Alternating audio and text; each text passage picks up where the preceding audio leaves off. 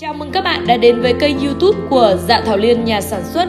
Các bạn thân mến, bệnh viêm âm đạo là bệnh lý khá quen thuộc đối với nữ giới và làm sao để chữa viêm âm đạo là mối quan tâm chung của rất nhiều chị em hiện nay. Chữa viêm âm đạo bằng lá trầu không hiện đang là phương pháp được nhiều chị em ưa chuộng bởi ít tốn kém mà đem lại hiệu quả rất tốt. Vậy cụ thể âm đạo ngâm lá trầu không có tác dụng gì và cách xông cô bé bằng lá trầu không sao cho an toàn? Có lưu ý gì khi chữa viêm phụ khoa bằng lá trầu không? Hãy cùng Dạ Thảo Liên tìm hiểu về công dụng của lá trầu không trong điều trị viêm nhiễm phụ khoa. Trầu không là cây thuốc quen thuộc trong đông y. Lá trầu không có tính ấm, mùi thơm hắc, vị cay nồng, thường được dùng để sát khuẩn, sát trùng và kháng viêm. Trong khi đó, theo Tây y, trầu không có tính dược học cao, chứa nhiều chất xơ, protein, các loại vitamin và khoáng chất như vitamin A, B1, B2, canxi, sắt, iốt, phosphor, kali. Các thành phần trên giúp lá trầu không phát huy được khả năng trong việc ức chế hoạt động của nhiều chủng vi khuẩn và nấm gây hại, hỗ trợ điều trị viêm âm đạo hiệu quả. Không những thế, loại lá này còn giúp trị ngứa, khử mùi hôi, làm khô thoáng vùng kín, rất thích hợp dùng để vệ sinh và ngăn ngừa các tình trạng viêm nhiễm. Dùng lá trầu không chữa viêm phụ khoa là cách làm dân gian được rất nhiều chị em tin tưởng và áp dụng. Cách chữa viêm nhiễm phụ khoa bằng lá trầu không mang đến hiệu quả tốt nếu bạn áp dụng đúng cách. Có hai cách chữa viêm âm đạo bằng lá trầu không điển hình sau đây.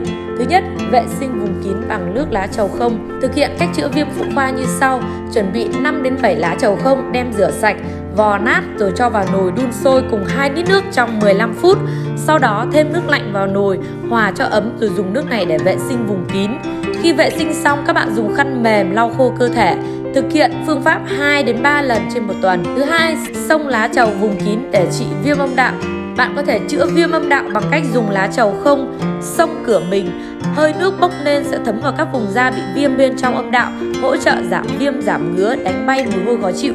Cách xông cô bé bằng lá trầu không như sau: chuẩn bị 5 đến 10 lá trầu không, rửa sạch, cho vào hai lít nước đun sôi trong 15 phút. Khi nước sôi thêm một ít muối và khuấy tan đều cho tan hết đổ nước lá ra chậu nhỏ, dùng nó để xông hơi vùng kín. Thời gian xông khoảng 10 phút. Sau khi nước nguội, các bạn lấy nước này để rửa bên ngoài vùng kín.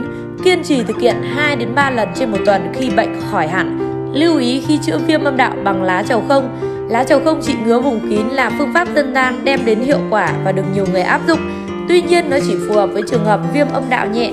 Với trường hợp bệnh nặng và kéo dài, bạn nên đến bác sĩ chuyên khoa để được tư vấn và cách chữa phù hợp hiệu quả nhất nhé. Một số lưu ý khác bạn cần nắm để áp dụng cách chữa viêm âm đạo bằng lá trầu không an toàn. Thứ nhất, không ngâm vùng kín hoặc thụt rửa âm đạo bằng nước lá trầu không. Điều này sẽ tạo nên cơ hội làm vi khuẩn phát triển và di chuyển ngược vào âm đạo khiến bệnh không thuyên giảm mà còn viêm nhiễm nặng hơn. Thứ hai, không lạm dụng các bài thuốc dân gian chữa viêm nhiễm phụ khoa bằng lá trầu không. Những phương pháp trên chỉ nên áp dụng từ 2 đến 3 lần mỗi tuần. Thứ ba, lựa chọn lá trầu không sạch, không thuốc trừ sâu và hóa chất. Đồng thời luôn rửa sạch lá trước khi sử dụng. Trường hợp đã áp dụng cách chữa tại nhà với lá trầu không nhưng các triệu chứng không thuyên giảm hoặc trầm trọng hơn trước, bạn cần đến ngay bệnh viện để được thăm khám càng sớm càng tốt nhé.